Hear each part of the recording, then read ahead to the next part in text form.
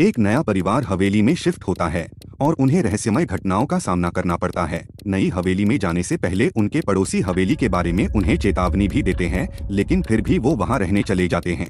नए पड़ोसी एक पुराने पुस्तकालय के रहस्यमय पुस्तक की खोज करते हैं, जिसमें गुप्त राजा की कहानी है, जो एक भूतिया सच खोज रहा है। जब वे हवेली की जाँच करते हैं तो वे अजीब सीरियस चेम्बर्स छिपे हुए राजवंशों के खंडहर और अद्वितीय हत्या की कहानी का सामना करते हैं। एक रात एक परिवार का सदस्य रहस्यमय रूप से लापता हो जाता है और रहस्यमय हत्या के पीछे की सच्चाई की खोज करता है। खोज करते करते उसे यह पता चलता है कि इस रहस्यमय खूनी राजा के पीछे उसी गाँव का एक लड़का है जो लोगों को डराकर उनकी हत्या करता है और लोगों को लूट लेता है। तब वो परिवार पुलिस की मदद से उस लड़के को पकड़ते हैं और खुशी खुशी उस हवेली में दोबारा अपना जीवन बसर करते हैं।